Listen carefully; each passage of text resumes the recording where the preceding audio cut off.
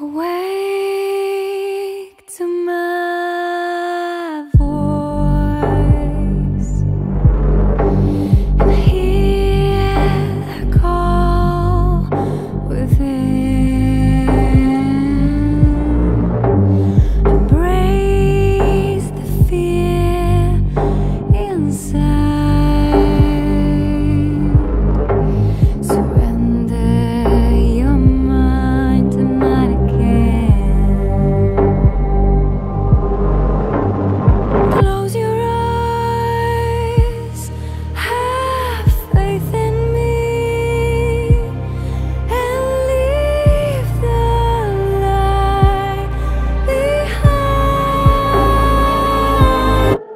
You never